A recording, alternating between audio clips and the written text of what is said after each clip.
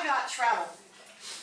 I'm against it. And here's why. Here's why I'm against it. You would be putting realtors out of business for good.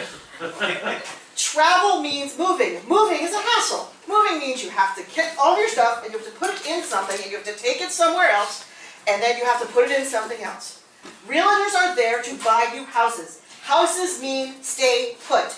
Don't travel. Don't go to the far east. Don't go to the far west. Don't go to the moon. Nobody needs to go to Mars. But Stay put. Travel is bad. You have a house, you have a yard, you have a dog, maybe. You need to keep those things. Stay put. No travel.